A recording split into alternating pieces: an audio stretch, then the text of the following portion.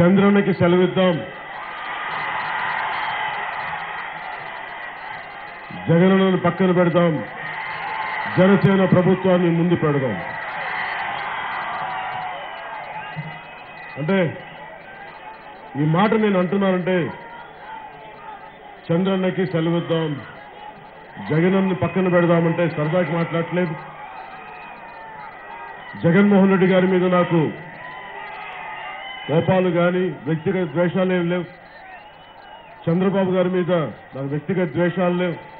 రాజకీయాల్లోకి రాగానే పవన్ కళ్యాణ్ పక్కన అందరూ టీనేజ్ పిల్లలు ఉంటారు.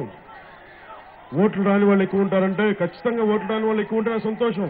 ఆ చిన్న ఆ చిన్న బిడ్డలను చూస్తే నాకు ఆనందం కలుగుతుంది వాళ్ళందరికీ ఎంతమందికి ఓట్లు ఉన్నాయో నాకు తెలియదు. దుర్మార్గంగా ఓట్ల కోసం అడుగుతావా? మనం మనుషుల్ని మనుషులుగా చూడాలి. అన్నదమ్ములుగా చూడాలి. ఆడపడుచులు అక్కచెల్లెలుగా చూడాలి కానీ మనుషుల్ని ఓట్లుగా చూస్తావా? నాకు దారి పొడవుతా రెండేళ్ళ బిడ్డలు పసి బిడ్డలు అందరూ ఉన్నా నేను ఒక తరం కోసం వచ్చాను. వచ్చే ముప్పై సంవత్సరాలు బంగారు భవిష్యత్తు వేయడానికి వచ్చాను. మీకేదో రెండు పాటి పనులు చేసేసి ఇవి చేయడానికి నేను రాలేదు. చంద్ర జగన్మోహన్ రెడ్డి గారిలాగా చంద్రబాబు నాయుడు గారిలాగా. జగన్మోహన్ రెడ్డి గారిలాగా వేల కోట్లు లేవు. చంద్రబాబు గారు లోకేష్ గారిలాగా వేల కోట్లు సంపాదించే పరిశ్రమలు లేవు. హెరిటేజ్ లాగా. అన్నింటికి మించి రిలయన్స్ ఆస్తుల కంటే మించి వెల కట్టలేని నా ఆడపడుచులు నా అక్క చెల్లెళ్ళు నా అన్నదమ్ములు నా జన సైనికులు నా సంపదను తెలుసు. నేను కోరుకుందల్లగా చంద్రబాబు నాయుడు గారిని నేను చంద్రబాబు నాయుడు గారి దగ్గరికి వెళ్ళాం చంద్రబాబు నాయుడు గారు మన ఆఫీస్కి వచ్చారు. మన ఇంటికి వచ్చారు. మీ సహాయం కావాలని కోరని అడిగారు. మేము వెళ్ళలేదు తెలుగుదేశం దగ్గరికి. తెలుగుదేశం పార్టీ నాయకులు మా దగ్గరికి వస్తే ఏమీ ఆశించకుండా మాటలతో చెప్పడం కంటే కూడా రాసి చెప్పడం కంటే కూడా చేతులతో చూపించడం చాలా తేలిక. నేను విలువలు ఉన్నవాడినా దేశాన్ని ప్రేమించేవాడినా మన ఆంధ్రప్రదేశ్ని రక్షించుకోగలిగేవాడినా మన ఆంధ్రుల ఆత్మగౌరవం కాపాడేవాడు అనేది ఇవన్నీ చెప్పడం కంటే కూడా చేయడం చాలా ఈజీ అనిపించింది నాకు. జగన్మోహన్ రెడ్డి గారు నేను ముఖ్యమంత్రి అయితే చేస్తా. చంద్రబాబు గారు నేను ఒకసారి ముఖ్యమంత్రిని చేయండి ఇంకా బాగా చేస్తానేవాడిని కాదు. మీరు ఏమి ఇచ్చినా ఇవ్వకపోయినా నేను మా అన్నదమ్ములకి మా ఆడపడుచులకి రక్షణగా ఉంటానని చెప్పి సినిమాలన్నీ వదిలేసి రాజకీయాల్లోకి వచ్చాను. తెలుగుదేశం పార్టీకి సపోర్ట్ చేశాం. సపోర్ట్ చేసి ఈ రోజున మన మీద ఆధిపత్యం జలాయిస్తా ఉన్నారు తెలుగుదేశం నాయకులు. అహంకారం చూపిస్తా ఉన్నారు. అవినీతి మయంగా చేస్తారు ఆంధ్రప్రదేశ్ని. మేం మీకు ఇంత చేస్తే మీరు అవినీతి రహిత పాలన ఇమ్మంటే మీరు ఇచ్చింది మాకు అవినీతితో కూడిన పాలన ఇచ్చారు. దీనికా మేము చంద్రబాబు నాయుడు గారిని సపోర్ట్ చేసింది. మీ అబ్బాయి లోకేష్ని భావితరాలు భవిష్యత్తుకు ముఖ్యమంత్రిని చేయడానిక నేను పవన్ కళ్యాణ్ మీకు సపోర్ట్ చేసింది. ఏదైనా మంచి చేస్తారు. ప్రజలకి మంచి చేస్తారని చెప్తే నిన్న మొన్న ఈ మధ్యన జగన్మోహన్ రెడ్డి గారు చాలా బాధపడుతున్నారు వైసీపీ నాయకులు.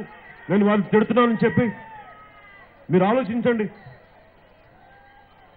నిజానికి స్వాతంత్రం ఎందుకంటే ఆయన ముఖ్యమంత్రి అవ్వకుండా లోపలికి వెళ్ళరంట చంద్రబాబు గారు మొత్తం ఆయన ఎమ్మెల్యేలు కొనేస్తున్నారని చెప్పి నేను అసెంబ్లీకి వెళ్ళనని. అరే ఇదేమైనా ఇంటి పోరాటం అండి? మీ ఇంటి కూడా ఇది? మరి అలాంటప్పుడు మీరు ప్రభుత్వాలకు ఎందుకు వచ్చారు? పార్టీ ఎందుకు పెట్టారు? ప్రజా సభ సభలోకి ఎందుకు అడుగు పెట్టారు? చట్టసభలోకి ఎందుకు అడుగు పెట్టారు? అవమానాలు చిత్కారాలు ఎదుర్కోవడానికి మీరు ఇంట్లో కూర్చొని బయటికి రాకండి. మీరు వచ్చింది ప్రజలకి చేస్తానని చెప్పి ప్రతిపక్ష నాయకుడు అంటే చాలా గొప్ప హోదా. నేను ముఖ్యమంత్రి కొడుకును కాబట్టి నేను ముఖ్యమంత్రి అవ్వాలని లేదు. చాలా చిన్న స్థాయి నుంచి కూడా వెళ్ళొచ్చు. ఏం నాదెండ్ల మనోహర్ గారు ముఖ్యమంత్రి గారు అబ్బాయి కాదా? ఆయన ఓడిపోలేదా? ఆయన గెలవలేదా? ఆయన చట్టసభలో స్పీకర్గా నడపలేదా? ఏం మా పక్కన ముఖ్యమంత్రి గారు అబ్బాయి ఉన్నారు కదా గతంలో పనిచేసిన ముఖ్యమంత్రి గారు అబ్బాయి నాదల్ల నాదల్ల నాదెండ్ల భాస్కరరావు గారు అబ్బాయి. ఏ? ఏ, అందరూ తగ్గే ఉంటున్నారు. ఏ దానివల్ల పంతాలు పట్టింపుడికెళ్తే ఎక్కడ మీరు ప్రజలకి మీరేం చేస్తారు? మాట్లాడితే కూర్చొని చెప్పి మమ్మల్ని అంటున్నాం మమ్మల్ని అంటున్నామంటే అరే మీరు ప్రతిపక్ష నాయకుడు మీ వైసీపీ పార్టీ వాళ్ళకి చెప్తా ఉన్నాను కార్యకర్తలకు కూడా. చెప్పండి మీ నాయకుడికి. చెప్పండి వైసీపీ నాయకుడికి వెళ్ళి చట్టసభలో వెళ్ళి చంద్రబాబు నాయుడు గారిని లోకేష్ గారిని నిలదీయమని చెప్పండి. మీకు రాజ్యాంగం మీద గౌరవం లేదు. అంబేద్కర్ గారి మీద గౌరవం లేదు. నిజంగా జగన్మోహన్ రెడ్డి గారు చెప్తా ఉన్నాం. మీకు నిజంగా చట్టసభల మీద కానీ భారత రాజ్యాంగం మీద కానీ మీ గౌరవం కానీ ఉండి ఉంటే మీరు చట్టసభల్లోకి వెళ్ళేవాళ్ళు. చంద్రబాబు గారిని చొక్కా పట్టుకుని నిలదీసేవాళ్ళు. కానీ మీకు ధైర్యం లేదు. నిజాయితీ లేదు. చిత్తశుద్ధి లేదు. త్రికరణ శుద్ధి లేదు. మీకు అందుకే మీరు చట్టసభలకు వెళ్ళరు. కానీ పవన్ కళ్యాణ్కి ఒక ఎమ్మెల్యే లేడు ఒక ఎంపీ లేడు. కనీసం ఒక వార్డు మెంబర్ కూడా లేడు. మేమింత ధైర్యంగా మాట్లాడగలుగుతున్నాం. ప్రభుత్వం అవినీతిని ఎత్తి చూపిస్తున్నాం. అలాంటిది మీరు ప్రతిపక్ష నాయకుడిగా ఉండి మీరు ఎత్తి చూపలేకపోతున్నారంటే అది మీ చేతగానితనం మీ పిరికితనం మీ భయం. Hi, this is Siddhi Idnani, and please do subscribe to New Waves. ఇలాంటి మరిన్ని మంచి వీడియోలు కావాలని కోరుకుంటున్నారా? అయితే పక్కనే ఉన్న గంట సింబల్ను క్లిక్ చేయండి. అలాగే సబ్స్క్రైబ్ చేయండి.